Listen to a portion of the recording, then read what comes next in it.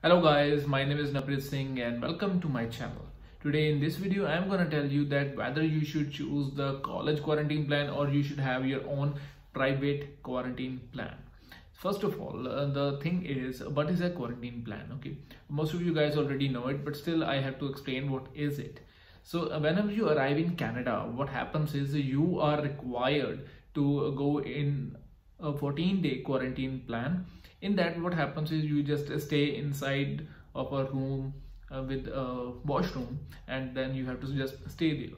You can do a bunch of chores like you can uh, stay there you can attend your classes you have direct access to the internet. You can just search about that that's it. You cannot go outside of your quarantine location.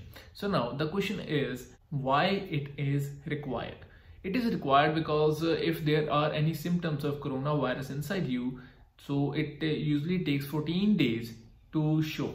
Okay, if, for example, if you if you are infected, then you may not show the symptoms uh, at the first day, at the second day, but after 14 days, it is sure you now possess the coronavirus.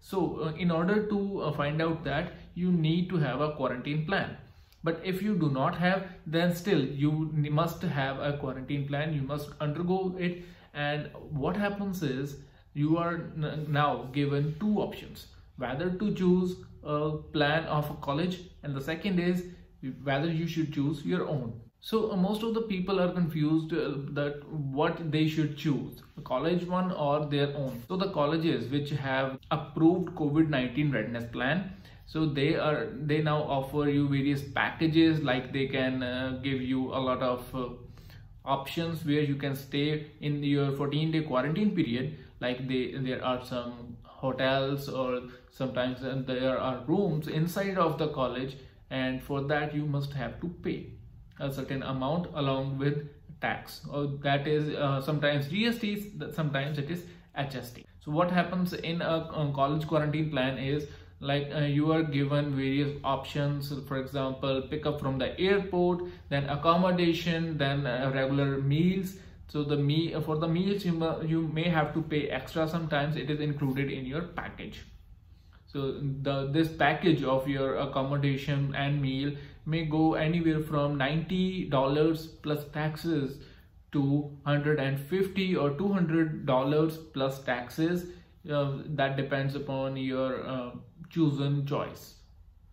And that is per night. Okay that is just for one day and you just have to multiply it by 14 and that is your final cost of your whole 14 day quarantine plan. You get access to the meals you get access to the wi-fi you get access to the microwave you get access to a refrigerator and the similar things which you can uh, which you need for your stay okay remember that you uh, you do not always get the laundry option with yourself. So you must have the clothes which you can go for like a 14 day period.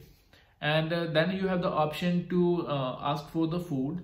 You can order it from uh, any of the local applications which are available available uh, at your place. And then you can just order something which you whatever you want to eat. They will just put it at your doorstep and you have to pay them uh, most probably with a credit card and before the delivery. This seems like a very expensive option for a lot of people and they still want to try for a less expensive personal quarantine plan or private quarantine plan.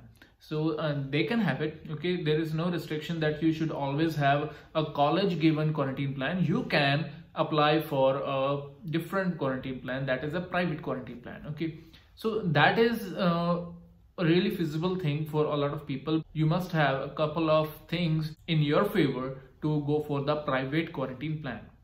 So if you go to the canada.ca, the first thing which you should have is you must have access to the necessities of life without leaving your place of quarantine. It means you must have your clothes, you must have your personal things, for example, the soaps, toothbrush, toothpaste, like these kind of things and, and you must have the groceries for the 14 days of period. You can order it uh, like a per day basis or a per week basis. That totally depends upon you.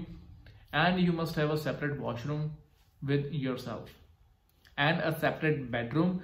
And you must have to limit your interaction with the people if you are living in a closed space.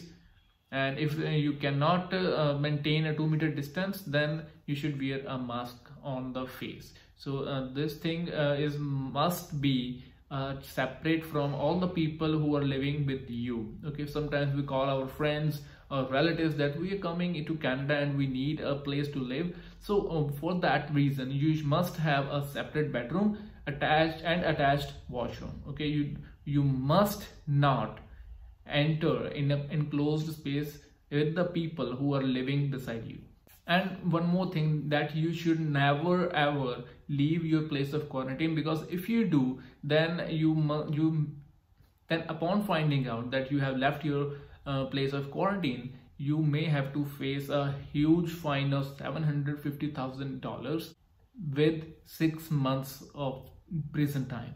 So if you do not want that, then I would really recommend you to please avoid it and please be sincere and complete your 14 day quarantine time because if you don't then you may land up in a serious trouble. After that uh, quarantine period is over you will be asked to have a covid-19 test and if you're negative then it is good to go. You can go out.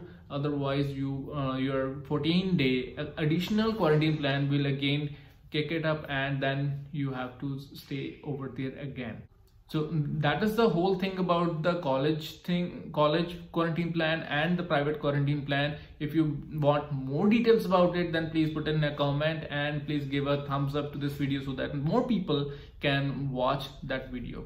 So tomorrow i am uh, going to publish a video about how to choose a college and what is a postgraduate work permit. Okay so please stay tuned. That's all for today. Thank you